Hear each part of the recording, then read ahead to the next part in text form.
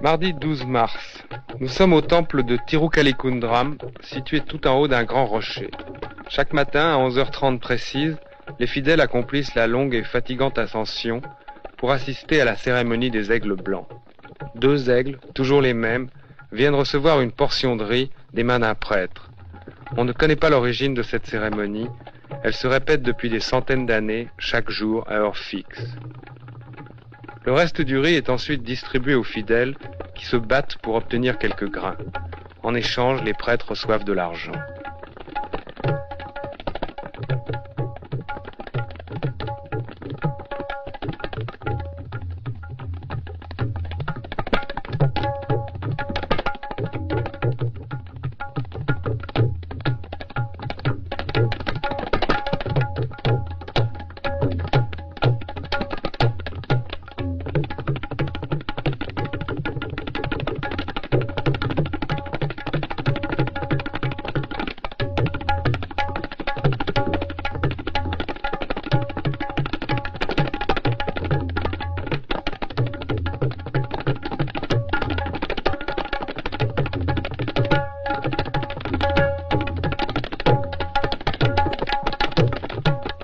Prêtres voleurs, fidèles crédules et généreux, main tendue pour donner et recevoir, partout les mêmes images. C'est l'envers de la religion indienne.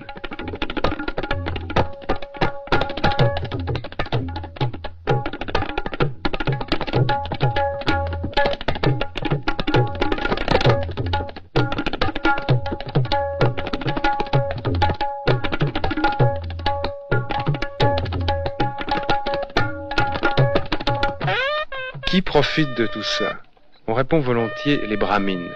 Ce sont eux qui occupent le sommet de la hiérarchie des castes et leur fonction traditionnelle est la prêtrise. En réalité, contrairement à ce que j'avais cru tout d'abord, la prêtrise n'a aucun prestige particulier chez les brahmines. Elle est même considérée comme dégradante.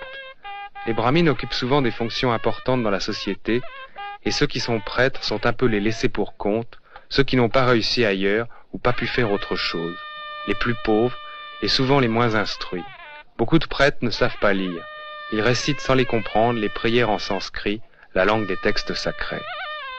Qui plus est, beaucoup de prêtres ne sont même pas brahmines, en particulier dans le culte de Shiva. Décidément l'un des compliqués.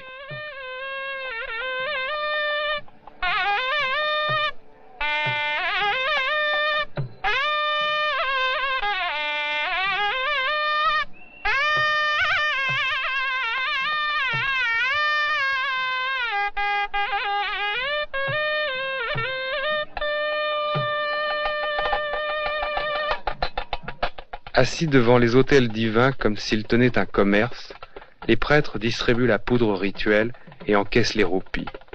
Ils présentent les offrandes aux dieux, les noix de coco, le riz, le beurre, l'encens, les fleurs, le camphre. Prêtres ou laïcs, les brahmines du Sud m'ont toujours frappé par leur arrogance.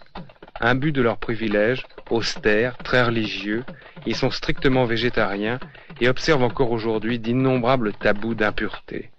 Ils ont des restaurants spécialement pour eux dans les villes. Les brahmines pauvres, quand ils ne sont pas prêtres, sont souvent cuisiniers.